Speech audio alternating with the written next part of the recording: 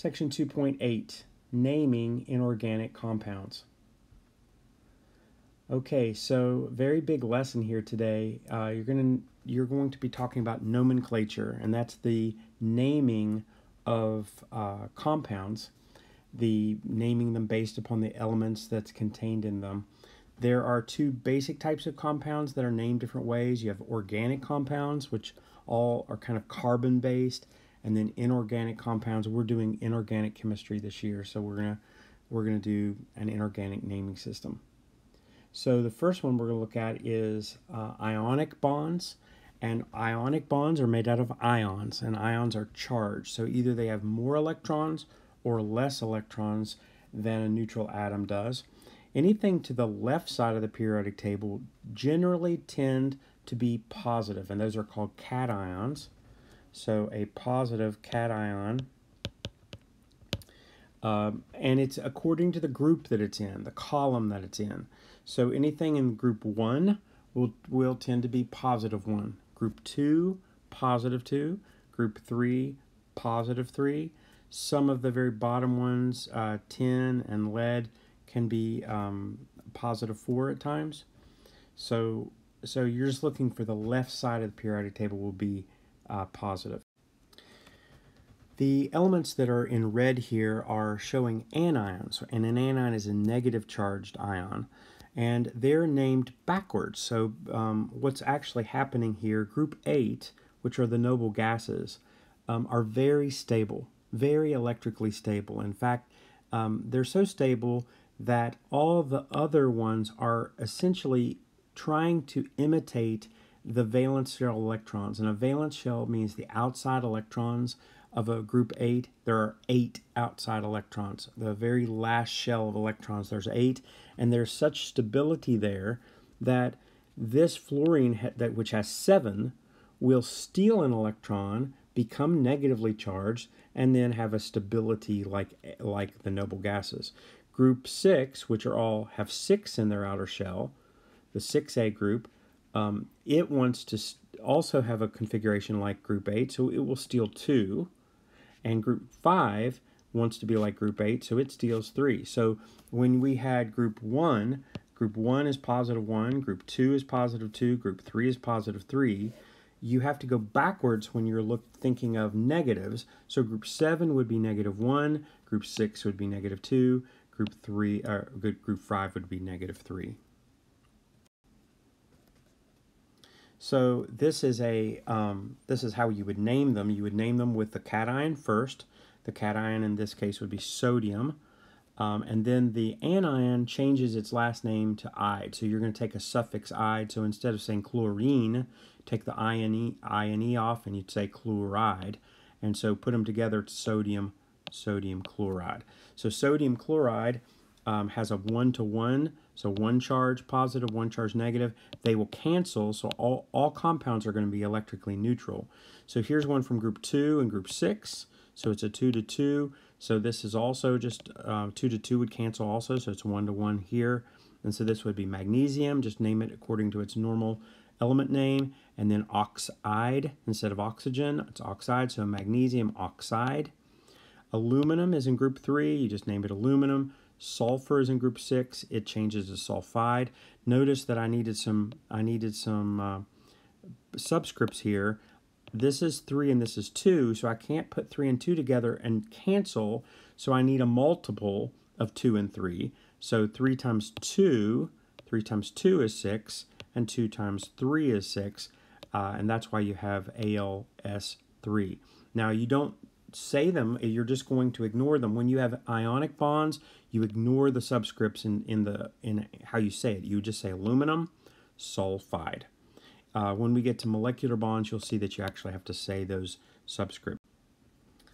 So here uh, in the middle of the periodic table, you've got, um, it's a little bit weird. You're not in group one, you're not in group two, you're kind of in the middle here. These are the B's in the U.S. system of naming. Uh, 3B, 4B, 5B, it goes, it goes from 1 to 10B. And so what you'll see is that they will often, almost all of them, have multiple charges that they can be. And because they have multiple charges, they could be, for instance, here's an example copper can be copper 1 or it can be copper 2. Well, I can't say copper oxide if there's two forms of copper oxide, I need a name for cop the, the one and for the other. So it's named just based on its charge.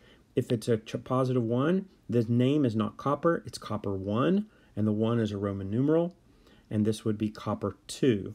So it's named exactly like it, only with the Roman numeral. So um, if you were to have oxygen, that is part of the anion. So, for instance, here is nitrogen. If you just had nitrogen, which is uh, would be negative, negative three, it would be called nitride, IDE ending. But if you have oxygen embedded in that anion, so it's still a negative charge, there's oxygen there, you name it a little bit differently. So you don't have an IDE ending, uh, you have 8 ATE ending. And ATE is the most common or most abundant form of that oxygen compound as an anion. And you won't know that. How do you know? You'd have to be told um, nitrate is uh, more abundant than nitrite in the world. And so this would this more common form is called nitrate, NO3, negative one. And then the ite is simply one fewer oxygens. So instead of NO3, it's NO2. So if you have an NO2, that's called nitrite. So NO3 would be nitrate, NO2 nitrite. Here's another example with sulfur. The normal form, or the most abundant form, would be sulfate, SO4 negative 2. The one less ox uh, oxygen would be sulfite, SO3 negative 2. So ite is one less oxygen than ate. In a couple of rare examples, you're going to have uh, just chlorine and bromine are the only two that I know of. You're going to have four forms of of oxygen combining with a nonmetal. So for instance, the common form or the representative form of chlorine with oxygen is chlorate, ClO3 negative 1. If you have one fewer oxygens, it's chlorite, ClO2 negative 1. And that's like you saw with sulfate and nitrate. Um, in this case, you're going to have four forms. One, two fewer than ate is called hypo chlor, in this case, ite. So hypochlorite, hypobromite. And if you have one more atom than, than the common or the normal, then it's perchlorate. So you'll have just a few. You'll have permanganate, um, perbromate. They're very, very few. So, so if you were to have, this is normal, ate, one fewer oxygen is ite, two fewer oxygens would be hypoite. So for instance, sodium hypochlorite is bleach. That's what you call Clorox. So ate going one more oxygen than ate would be perchlorate, perbromate. This is a list of mainly polyatomic ions. You're gonna you're gonna have a list that you're going to learn. Many of these are oxygen, uh, called oxyanions, where there's oxygen embedded. So hypochlorite, we saw chlorite, chlorate, um, phosphate, which is PO4 negative three. Um, you can modify these, like you can add hydrogens. You can so hydrogen is positive one, so positive one and a negative three kind of chops off one of the negatives, makes it two, so it's hydrogen phosphate. You can do it twice. Dihydrogen phosphate, where uh, two positives are chopping off two of the negatives, making it negative one.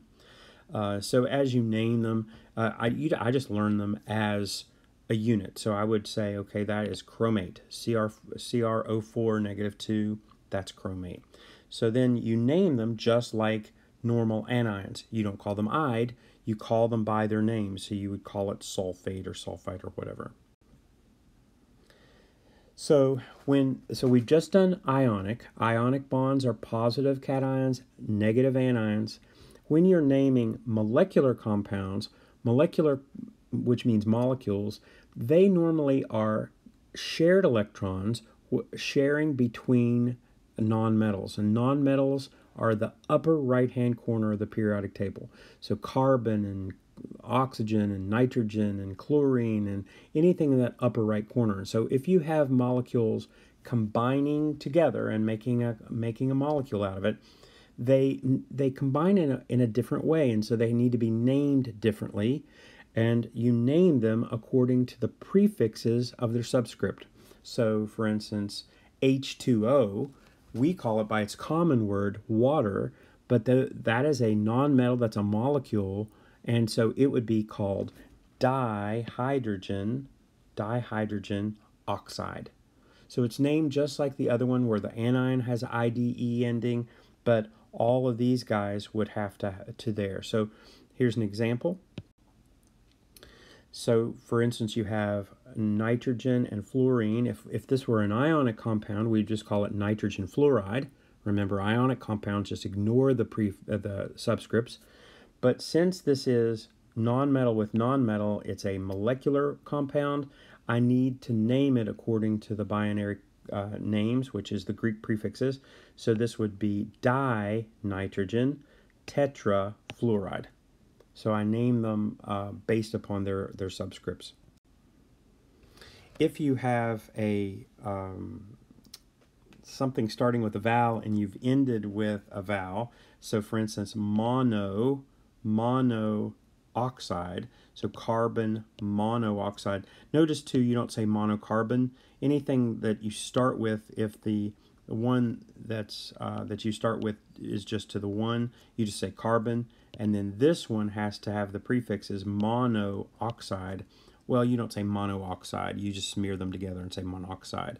Same thing here, uh, uh, dinitrogen tetraoxide turns into tetroxide. And finally, we have acids. An acid is a hydrogen compound, uh, and it's named based upon the anion that it combines with. Hydrogen will always be uh, positive 1. So if you have H plus Cl, okay, so Cl by itself would be chloride, that's, that's Cl, chloride, Cl negative 1.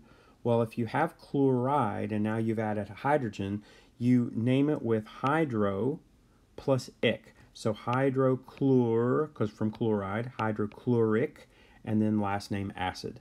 So an acid is something that can donate a hydrogen. The hydrogen will always be out front, so you know it's an acid. So I could call this hydrogen chloride, okay, because we named it according to the front and the back. But if you remember the first slide I showed you, hydrogen was red. It wasn't blue. It, it, it didn't show up like a cation. It's actually a nonmetal. It's not a metal. So, so you don't, it's not considered a cation, even though it's positive one. So we call it, it's an acid. So we'll name it an acid. So if, if, if your first guy, if your cation is a positive uh, hydrogen, then you don't say it hydrogen chloride, which would be its normal name you use its acid name, which is chloric, so hydrochloric acid.